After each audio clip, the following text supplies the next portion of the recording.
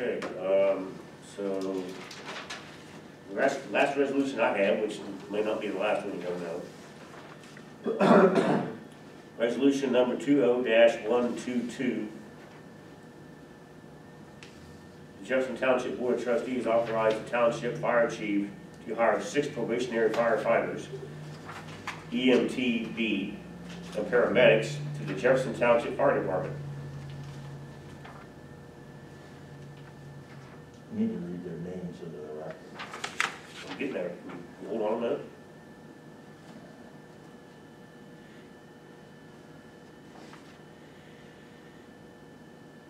Whereas Jefferson Township Fire Department is working dil- diligently to maintain quality of level of staffing and desire to provide adequate EMS and fire protection for the residents of Jefferson Township. And whereas it is in the interest of the township and its residents that the staffing level of Jefferson Township Fire Department be upgraded to provide better response to its citizens as the levy passed in 2016 was to be applied. Whereas the Jefferson Township Fire Chief requests to hire the following individuals and disclose their salary as currently hold the required certification. Lisa Humble, William Colker, Adam Todd, Ashley Julius, Julian Newberry, Douglas West. I'd like to make a motion, we adopt resolution 20-122. Second. A motion on the floor to adopt resolution 20-122. Any questions? There's one question. Um, The first person's pay is not accurate. Lisa Hummel is coming on as a firefighter paramedic, and you voted in eighteen dollars an hour for that position. So make an adjustment to that of eighteen dollars an hour. We'll initial that on the resolution. Yeah, and then initially, that's all. Okay. Roll call, please, Tracy. Trustee McLaughlin, Yes, trustee McCoy, Yes. motion carries.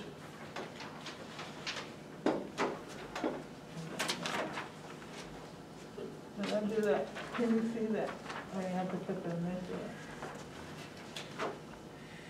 Should I scratch it out for that scratch it out for that thing. I don't bring my glasses.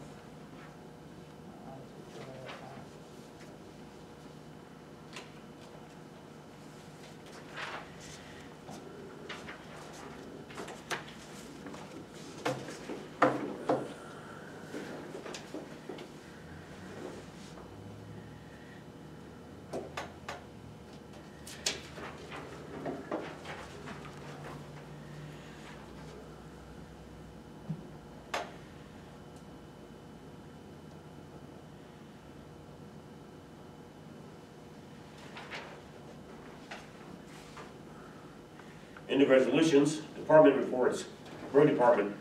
Trustees in front of, good evening trustees, in front of you, you have in your packet the report for the road department. Um, I can say that nothing more than just leaves, leaves, and leaves. Um, This is the last week of their leaf pickup, they finish on Friday. They might be delayed a little bit with the snow coming tomorrow morning. Um, You can read through this, if you guys have any questions, please call me or email me any questions off of this report. Um, But um, outside of that, they're prepared to start uh, snow um, services about three in the morning tomorrow morning. And uh, we've got all five vehicles ready to go. They're all fixed and they're all ready to go. So the three big dumps and the two pickups. Um, Less than an inch of snow, ain't it? Yeah, but ice before. So Oh, hmm. the county is sending their people out at three and the state already put all their salt down this morning. They're going out at two thirty. Mhm. So I keep, I keep tabs with the supervisors of the state and the county to see what they're doing since they abut our roads. And residents don't. I'll be up, I'll be up. up, that's when I get up, I'll take a look. Good. Of course, we call them all off if we don't need them.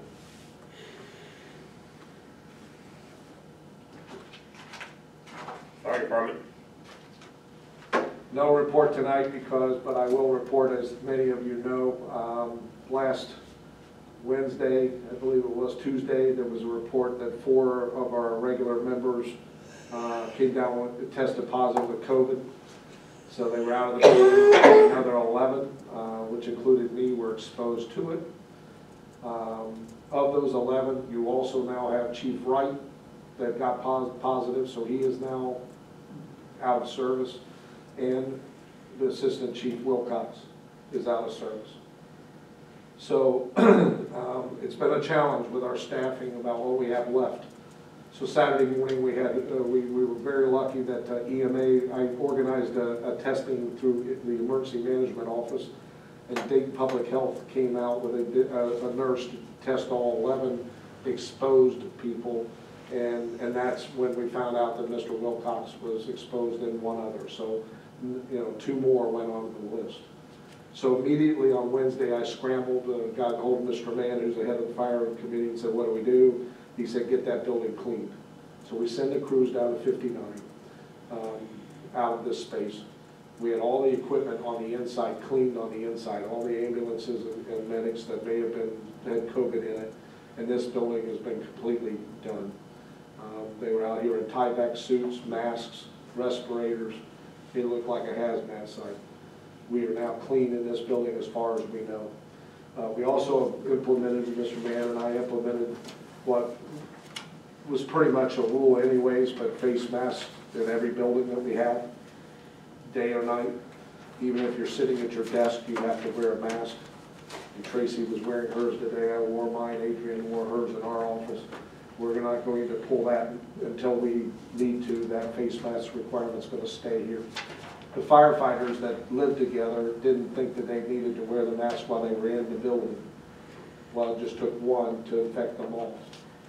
So we, we're, we're working on, you know, trying to get our staffing back. So we, we've utilized community ambulance service to help us. Uh, we've been in crisis mode since last Tuesday or Wednesday.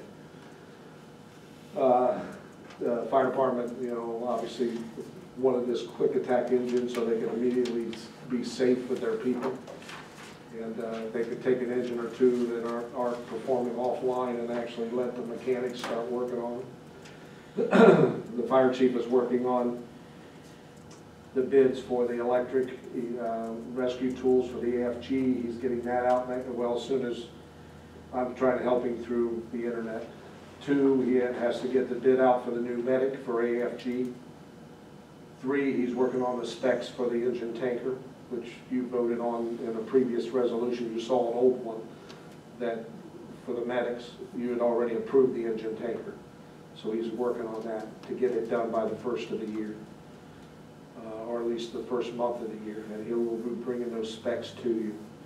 If you buy state bid engine tanker, you don't have to go out to a bid process at all. So he's been busy on that. Chief Wilcox has been nothing but Tracy, working on bills, bills, bills, and he about had a heart attack when he found out he was positive, because now he has to try to work from home. What a, what a handicap at the end of the year when you're trying to clean up the books. Um, So that's the only thing I have for fire department at this point. Administration Department. Trustees, I have in front of you the report, uh, there's same thing back on the table for the residents that would like to take them home with them. Everything that I have been up, uh, been doing for the last two weeks. Um, I try to highlight the things that are most important. Um, But you all know what I've been doing, and that's been budget, budget, budget, and, uh, and now we're working on the resolution uh, of of procedures for your closeout meeting. So that's our focus now, is have everything ready for the closeout meeting on the 29th. That's all I have for my report. Okay, uh, comments by citizens, there are none. Trustee reports, um, I have no comment. McGuire, Bruce, you need to sign into our meeting. um, Okay. comments by trustee, you got any comments, McGuire?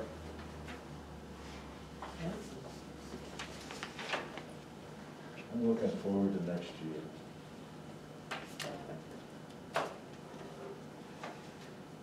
That's all I have. Move to Motion. adjourn.